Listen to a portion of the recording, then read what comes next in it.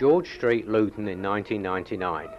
60 years ago, the Polly family were evacuated to Luton and now make this return journey to see what changes have occurred.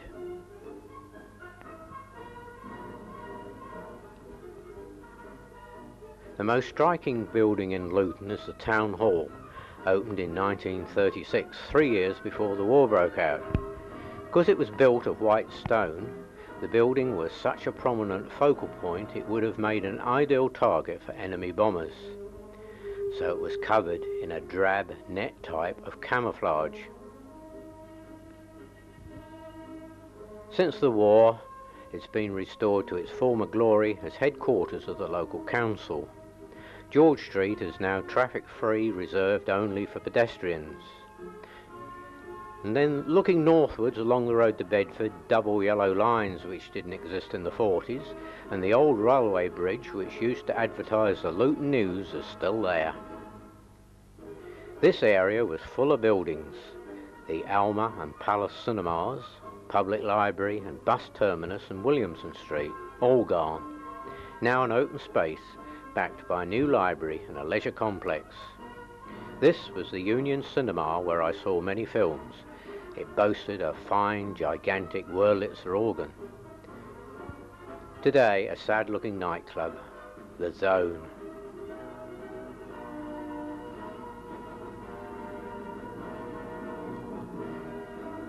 In Waller Street was the Grand Theatre, long since gone. I was often taken by father to see stage shows here, Seats in the gallery, one shilling. In recent years, a giant shopping complex has replaced the smaller shops in George Street and the surrounding area.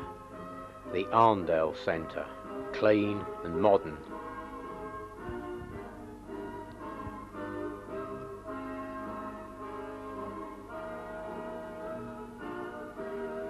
I'm sure that the old shops were much more interesting. And now to Oakley Road, where in 1941 we rented number 30, owned by the Browns. Mr. Brown in peacetime had a small motor garage next to the house and it's still there.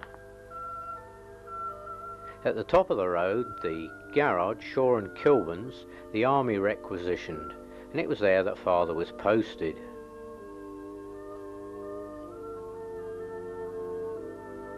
Father's office was top right next to the showroom. But in the 1990s, it's all been demolished to make way for a computer supermarket.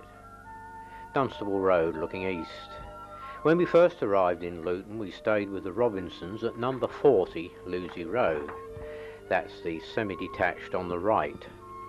There was a brick air raid shelter in the garden, and we spent many nights in there while the air raid alert was on.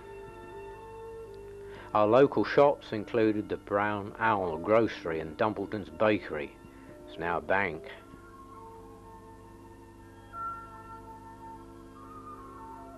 Lucy Road is two miles from Dunstable where I cycle to school each day. Dunstable High Street, part of the original Watling Street, has much changed and this is all that's left of the old town hall.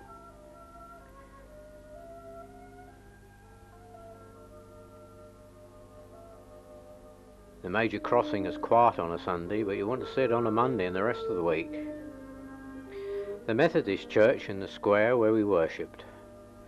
One of my schoolmasters, Mr. Bosket, played the organ. The organ's just above the pulpit.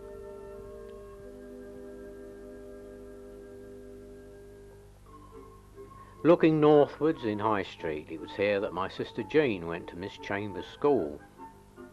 In September 1940 I was accepted for the grammar school, no longer grammar but comprehensive. It's a fine building, dating from 1887 at the bequest of a Mrs. Frances Ashton. 11-year-old Bernard Polly from Form 1 in one of those panoramic school photos. They were great days and in spite of wartime problems, the education was good and strict under headmaster Alan Evans. The school gymnasium and science block seen through the bushes. And the main entrance to the school. I'll leave my reminiscences with a look at the masters who taught me in 1940 through to 1942.